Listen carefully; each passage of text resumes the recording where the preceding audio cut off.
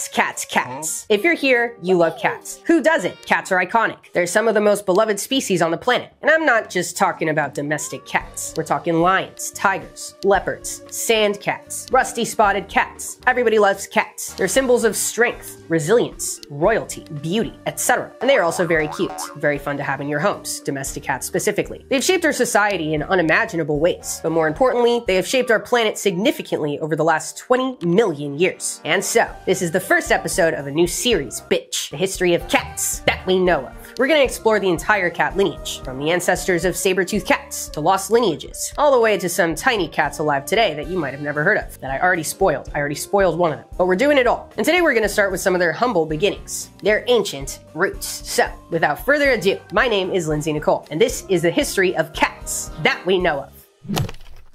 I'm so excited for this series, and I hope you are too. I don't know if you noticed, this is a slightly new setup. I've moved things to a different wall. I heard your complaints, I heard your requests, the base is back. I'll talk about the new setup at the end of the video in case you're interested. Now, I'm gonna talk about it now. This is still a work in progress. You might have not even noticed that it's a new setup because I tried to make it look as similar as possible to the last one. I don't like change. I like sticking to things when they work for me. I'm already using a different mic and that was enough for me. Got this little magnetic mic right here and it's cool. You know what? I like it so far and it does make more sense. My editor was right. Anyway, this is a work in progress. It's a little bit different. You might remember I had some air plants and little things right here. I didn't really like them very much. Thought they were too small. So I'm trying to figure out what to do. Also, this setup is in a room now where I can't really have living plants because it's going to be dark most of the time. So this is unfortunately fake. The real plant is in another room thriving. So I was thinking maybe I could do some, you know, those, wait, I have them. I can show you an example. I was thinking of throwing some of these up there. I know that usually it looks like shit. I kind of want to just have them like maybe hanging down right here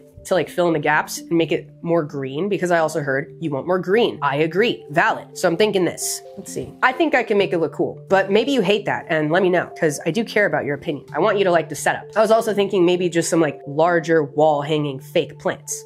One right here, one right here, but I don't know. Let me know. And now, on to the actual fucking video. We're gonna get the global conditions out of the way. If you watch my History of Life on Earth series, you already know what the fuck is going on, kind of. For this series, global conditions is gonna include general climate shit, of course, but also what was going on in the environment overall surrounding the species in question, the kitties. So it'll kind of be like an ultra condensed history of life episode. Like, boom, here's the plants and animals that were in the environment these cats were cooking up in. Today, our attention is on Eurasia and North America, sometime during the Eocene to Oligocene epochs. So like 35 to 25 million years ago. The world was in the middle of a cooling trend but it was still relatively warm. Does that make sense? It was hot, but it was even hotter before. So the world was technically cooling, but it was hot nonetheless. That's important because that impacts evolution. Shit gets warmer, things adapt to the warm or get booted. Shit gets colder, things adapt to the cold or get booted. Oh wait, another thing I want to mention about the setup. I lowered this because I could, because there was a lot of empty space down here. Unnecessary. Made me look a lot shorter than I am. So I'm not that short. Anyway, grasslands were slowly replacing forests that once stretched almost pole to pole. And with those expanding grasslands came the expansion of grazing animals.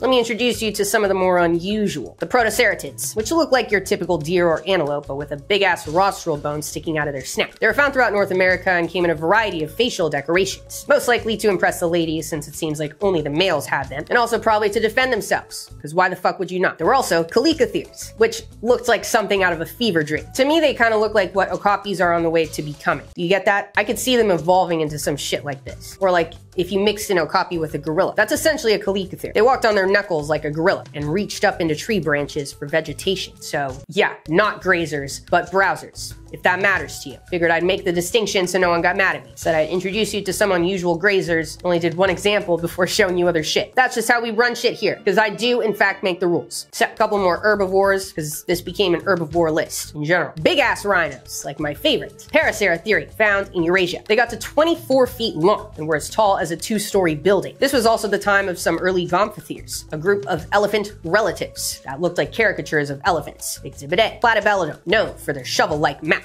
What about animals other than herbivores? Perhaps an omnivore. Perhaps the most heinous omnivore to ever exist. The entelodonts, also known as the hell pigs. They could get to six feet tall at the shoulder. Pigs, dude. Six feet tall at the shoulder and were just grotesque. This is probably six feet. No, no, I'm five.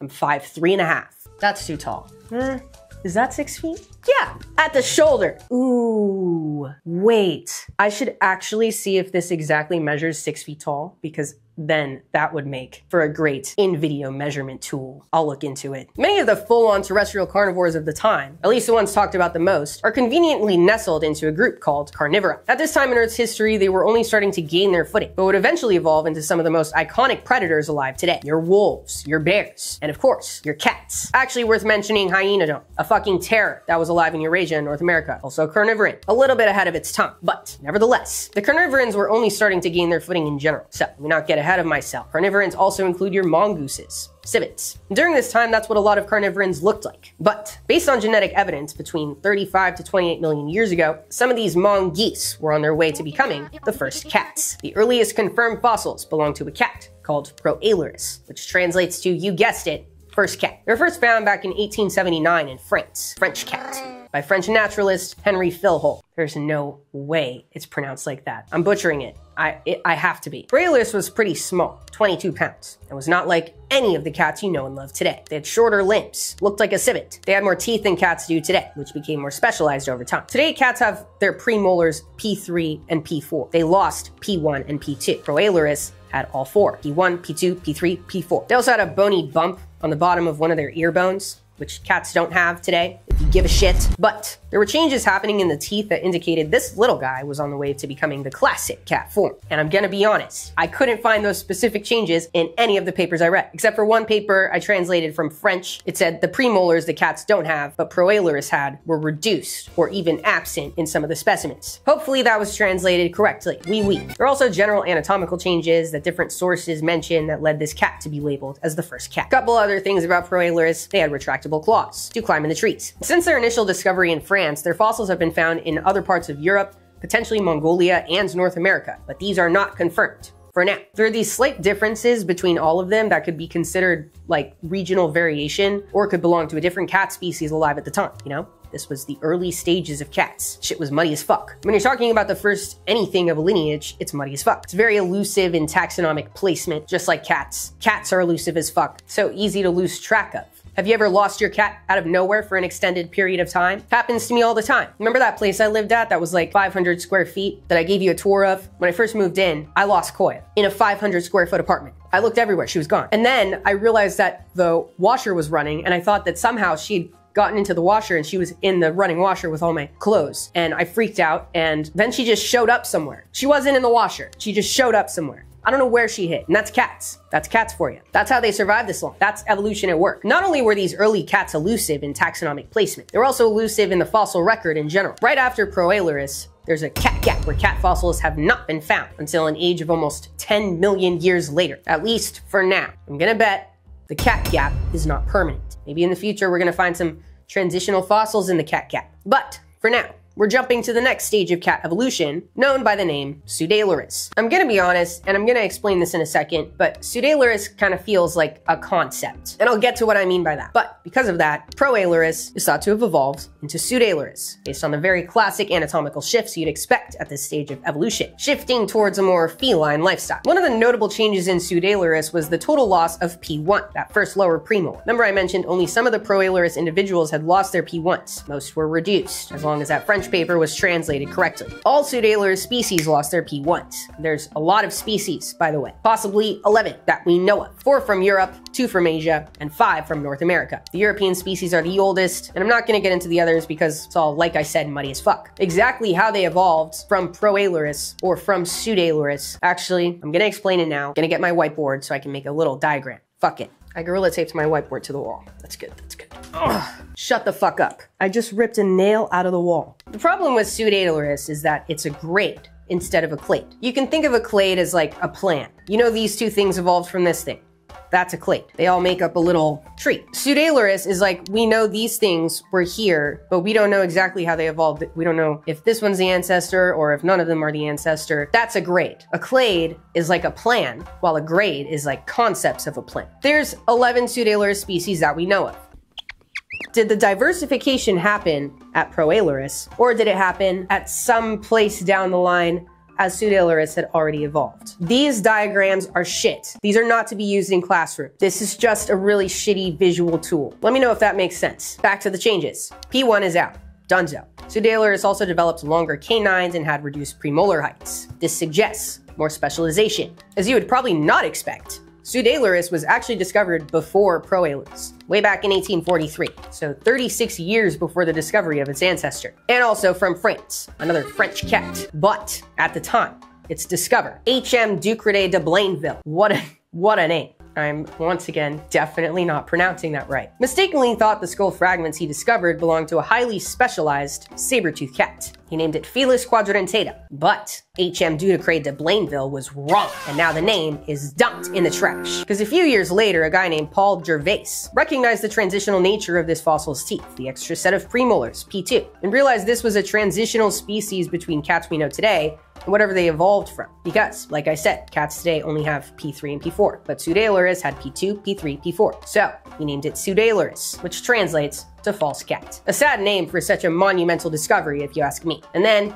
later, Proailurus was found with the P1 premolars intact, but kinda on their way out, Boom, that's the first cat. That we know. Since their initial discovery, Pseudaelurus fossils have been found all throughout Eurasia and North America, and like I said, represent 11 species, some of which are a bit iffy. They came in a variety of sizes, from the size of a house cat to the largest, thought to get to about 60 pounds. Pretty impressive for a primitive cat. Overall, these cats had longer spines than Proailurus, were more cursorial than arboreal, on the ground instead of the trees. Because more fossils have been found of them, we know a lot more about them than Proailurus, which isn't saying much. Because like I said, this lineage is elusive as fuck. But we do have an idea of what Pseudaelurus branched into and in what directions. Two major branches specifically, the conical-toothed cats, the modern cats we know and love today, and the saber-toothed cats. It seems as though this split took place about 11 million years ago. One direction would lead to the iconic Smilodon, my channel's logo, the saber-toothed tiger that we all know and love from the Ice Age, and other famous species, Homotherium, Dinofelis. The other path would lead to our tigers, our lions, our domestic cats, our cheetahs, a total of 37 species alive on our planet today, and of course, other extinct ones. This is kind of the cliffhanger that we leave this video on. These are the next chapters. First, we're going to be covering the saber-toothed cats, the Machaerodonts, our modern cats, how they evolved, the different groups that exist, because I'm not covering 37 species in one fucking video. Or maybe I am. Maybe I decided that. I doubt I decided that. But of course, cats are more than just their evolutionary history. There's also the ways the domestic cat became the domestic cat. That will be its own video. Probably touching on how significant cats have been in our societies, in societies thousands of years ago. We're gonna get into all of it. So I hope you're excited. I know this video was a little bit short, but as you can see, we still have a lot to learn about the cat's ancient roots that we literally just don't have fossil evidence of. It's elusive, it's on brand. So, I hope you're excited. I'm really excited about this series. And yeah, if you have any suggestions about the setup, if you like my leaf idea, let me know. I'm gonna be filming another video right after this, so the next video, you're not gonna see any changes made to this backdrop. Just a warning. I'm also gonna be wearing the same outfit. I don't wanna change. So, that's that. I hope you're excited, and if you like this video, be sure to subscribe so you don't miss the next episode coming out probably in a month maybe a little bit before. I have the notes ready to go. Check out live streams and behind the scenes content on my Patreon, where you can also find our Discord server. And for now, stay curious. The world has a lot for us to learn. See ya!